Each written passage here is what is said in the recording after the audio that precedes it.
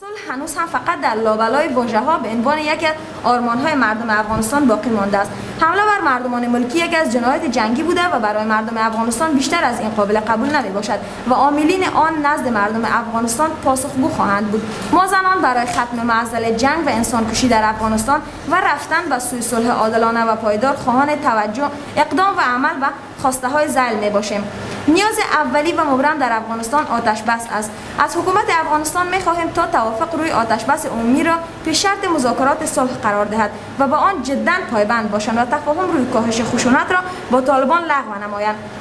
از کشورهای حامی صلح و کشورهای زیده در روند صلح در روند صلح افغانستان از جمله کشورهای اسلامی ایالات متحده امریکا، ایالات متحده امریکا و همچنان اتحادیه اروپا، کشور قطر، کشورهای منطقه و همسایه می‌خواهیم که به هر طریقه ممکن بالای طالبان برای تفا...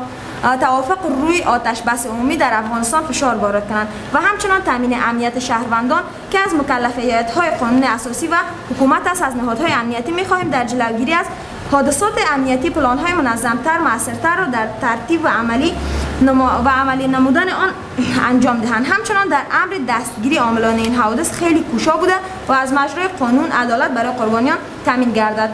و گزینه چهارمش هم ما از حکومت می‌خواهیم در جلوگیری و کنترل تبلیغات سوی جهت ترویج افرادگرای خشونت و تغییر منفیگرایانه ذهنیت عامه جمعآوری صلاح غیر قانونی و افراد غیر مسئول از طریق نهادهای مختلف تعلیمی و تحصیلی اطلاعات فرهنگ اطلاعات فرهنگ حج اوقاف و نهادهای امنیتی با طرح های منظم و دوامدار ملی اقدام عاجل داشته باشند.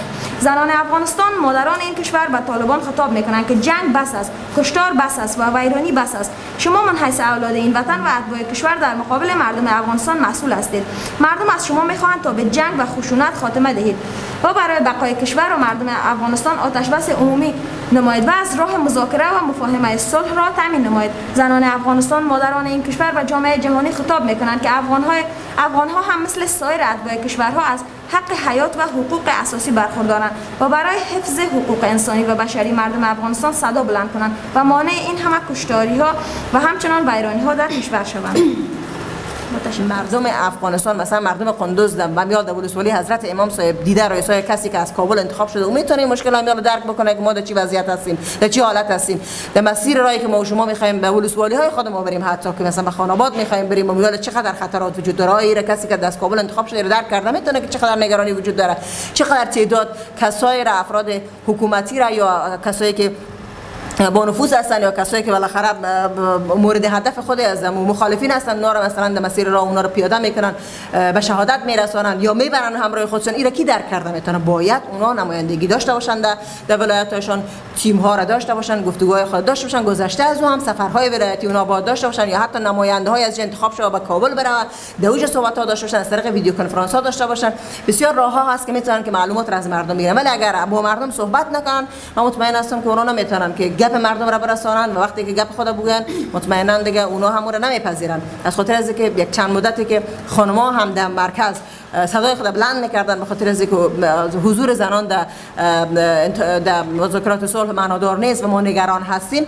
حتی بین کسایی که داخل افغانستان بودن یعنی منظور طرف حکومت بودن می‌گفتن که اینا چند تا خانمی است که در مرکز هست. این مسائل را میگم این نگرانی ها را اینا دارن.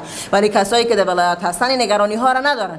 و از خاطر شبکه زنان افغان تصمیم گرفت که باید ولایت ها و ولسوالی ها باید برنامه را داشته باشه نظر و دیدگاه خانم ها را هم در رابطه از ولسوالی و از قریه ها در رابطه با مذاکرات صلح نگرانی هایشان طبقاتشان خواست هایشان از اونا بگیره. باز بر از اونا نکاس بده که یعنی خاص چیزی نیست که من زنی که در کابل هستم این گپ ما باشه. این مستند با صدا با تصویر با عکس تمام چیز بر از اونا ارسال شده و اونا می‌تونن که بسیار با قوت اوجا صحبت بکنن و بگن که این بحث بحث نگرانی زن یا جوان تمام افغانستان است.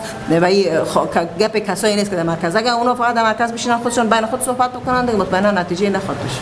خیلی خوشبین هستم به پروسه صلح خیلی خوش هستم که ما یعنی شاهد یک صلحی باشیم که واقعا از دل جان و معنا داشته باشه شاید یک سال باشیم که ما نتونیم مادر اطفال خود از دست نتا خانم شوهر خود از دست نتا ما قسم پدر بچه خود از دست نتا ما خوشبین به پروسه صلح هستیم و آرزوی ما همین هست که یک صلح دائمی در تمام نقاط افغانستان بیاید و هیچ مادر در هیچ جای مثلا اونا جگرگوشی خود از دست نتا و شاید خوشبین هستیم به پروسه صلح و خیلی آرزو داریم که صلح بیاید تا بتانه دختر با اعصاب آرام و راحت برن درس خود بخونه پسر همچنان هم قسم پدر و مادر همچنان.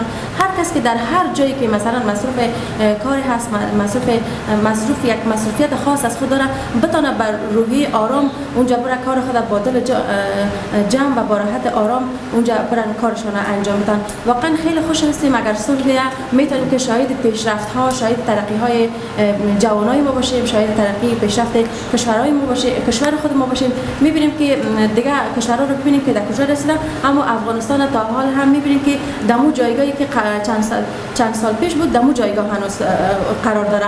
هنوز هم جنگ ادامه داره. هنوز هم ما تلفات خود میتیم حمله های انتحاری هست و و همچنان حمله ها بالای پوسته های نظامی هست که اینا کلش یک تاثیرات خیلی بد بالای روح روان مردم جامعه میمانه و کشور ما را به دیگر کشورها نشان میدن که افغانستان رو ببینین هنوز هم در همون جایی که قبلا بود در قرار داره و آرزوی همه ما هست که یک روز صلح دائمی در تمام نقاط افغانستان بیاید و خیلی هم خوشبین هست